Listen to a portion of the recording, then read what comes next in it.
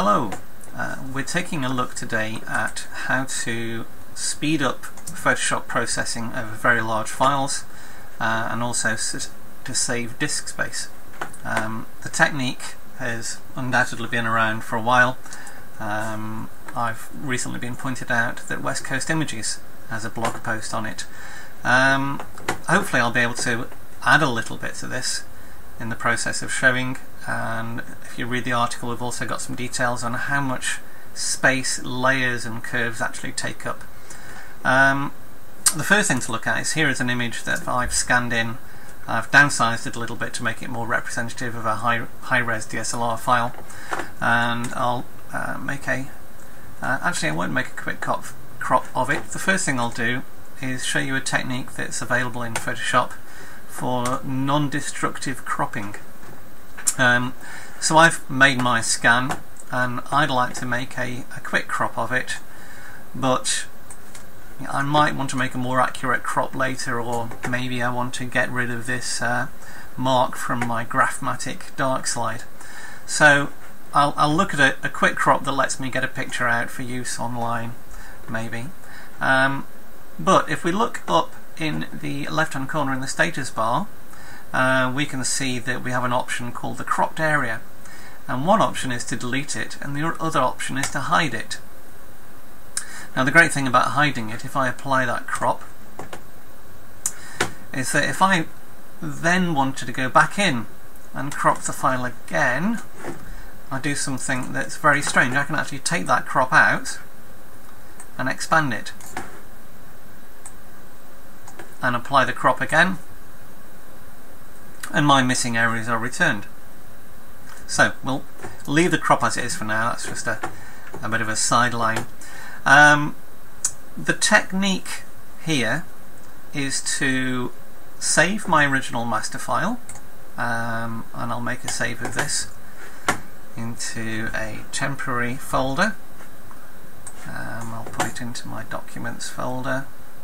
Find my incoming folder. Um, scan master, let's call this.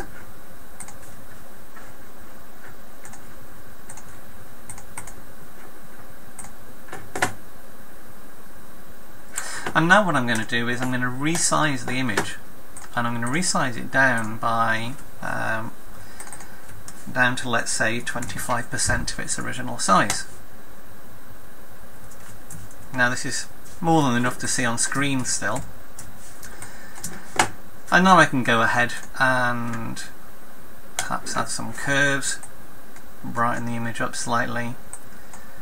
I might want to um, add some vignetting so I can darken the layer, invert the mask and then brush that darkening layer back in. So let's just take a look at doing this quickly. If I brush in white, and change the opacity up a little bit. There we go, we're actually getting somewhere. That's a very rough vignette.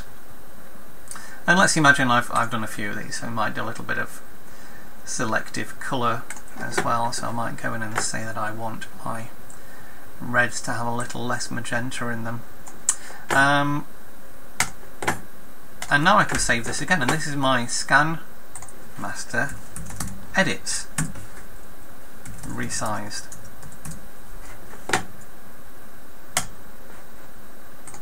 Now because this image has been uh, a quarter, in fact it's a sixteenth of the original file size, I never run out of memory, every operation is very fast.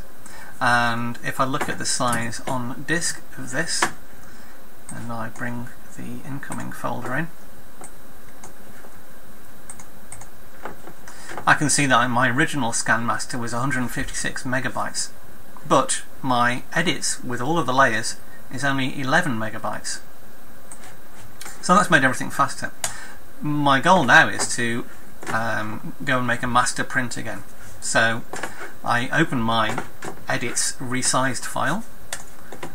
I then increase the size of it by 400%. So I've now got a very large file. And I go and open my master.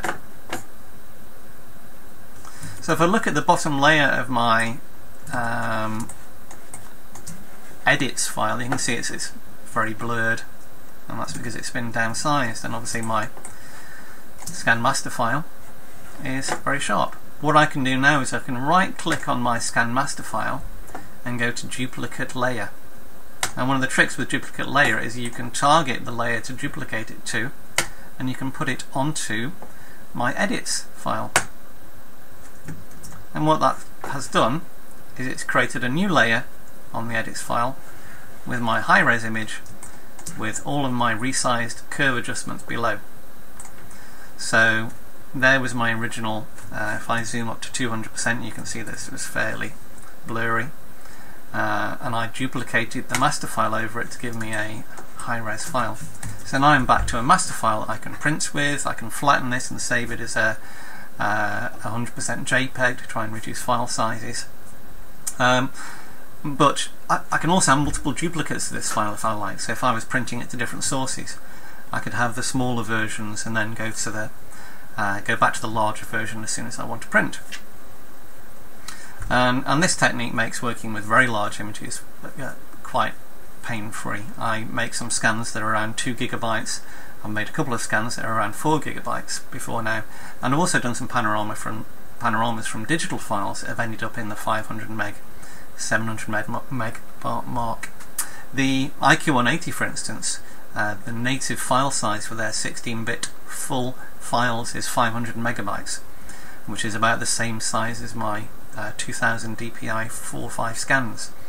So we're getting to an era where these file sizes will become more commonplace. I'm sure that the file sizes of the Nikon D800 will be in the 300 megabyte mark and then if you start adding layers to that you could very easily hit half a gig or more.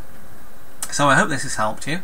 Uh, I'm going to be making another video next which will show you a technique for uh, a, a, type of shadow highlight recovery that uh, you can do non-destructively in layers. Uh, and until then, bye bye.